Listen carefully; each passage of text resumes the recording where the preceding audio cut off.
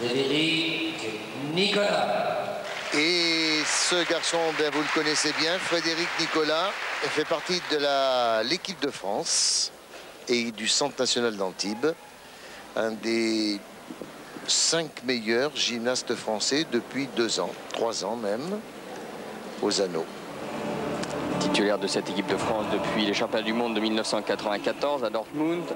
On le voit ici dans un exercice de force et on voit qu'il force sur cette remontée en croix de fer.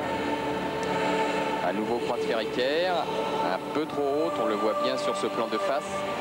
Dislocation, établissement à l'équilibre avec flexion de bras.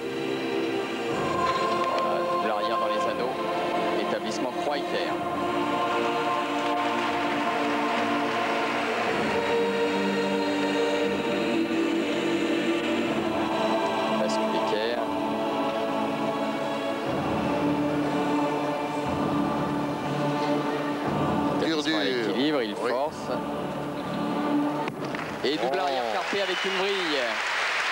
Bien, Frédéric a voulu mettre tout son programme, même s'il n'est pas en pleine possession de ses moyens physiques au mois de janvier. Ça, c'est clair, au retour euh, des fêtes de Noël, après avoir pris une bonne récupération aussi, après les championnats du monde de Sabaye. Mais pour le spectacle, il donne son maximum. Frédéric Nicolas, donc, sortie euh, bien amorcée et juste, juste pour la fin.